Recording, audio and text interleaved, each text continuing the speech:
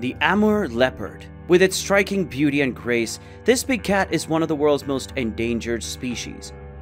Its future hangs in the balance as its population dwindles to dangerously low numbers. The Amur leopard is one of the world's most endangered species. Shockingly, the number of Amur leopards remaining in the wild has plummeted to fewer than 100 individuals, while their captive population stands at a mere 180. The mysterious beauty.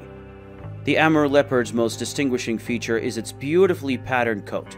Adorned with rosettes that vary in size and shape, the coat acts as a natural masterpiece of camouflage. The combination of orange, black, and white hues creates a striking visual display that helps the leopard blend seamlessly into its environment. This camouflage is important for the leopard's survival, allowing it to stalk and ambush prey without being easily detected.